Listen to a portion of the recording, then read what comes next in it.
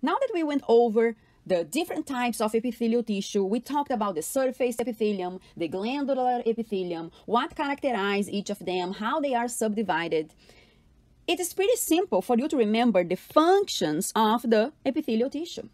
The first one is protection. Then, what comes to your mind is the epidermis of your skin that's made of several layers to resist abrasion, right? That protects us. Also, we talked about the goblet cells that produce mucus. They secrete mucus. That makes you recall that another function of the epithelial tissue is secretion. Also, I mentioned that we have epithelial tissue in very small structures that we find within the kidneys that are responsible for filtering the blood.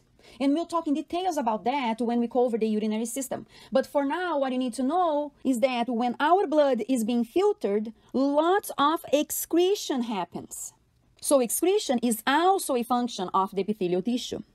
If you think about the microvilli I mentioned to you when we were talking about the intestines, and I told you that microvilli increase the surface area, and with that, microvilli increase the absorption rate. So absorption is also a function of the epithelial tissue. And lastly, we have here the sensory function.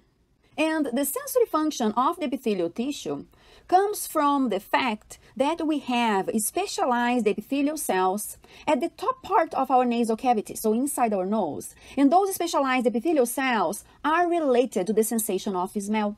We also have specialized epithelial cells inside our ear, and those epithelial cells are related to hearing and equilibrium. We also find specialized epithelial cells within taste buds, and those epithelial cells are related to taste.